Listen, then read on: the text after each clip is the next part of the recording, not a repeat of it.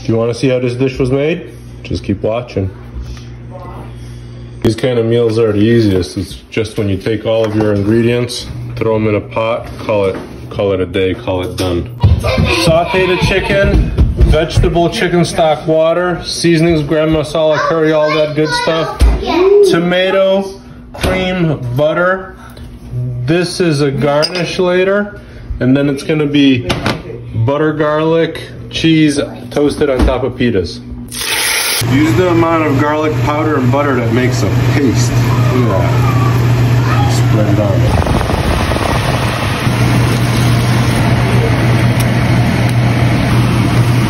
I was only supposed to use half the garlic powder, so I scraped half off.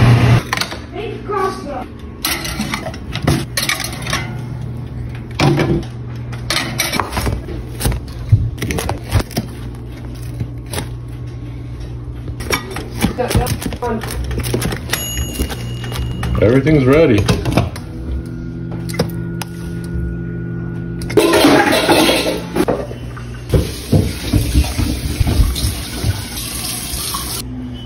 Add a squirt of yogurt.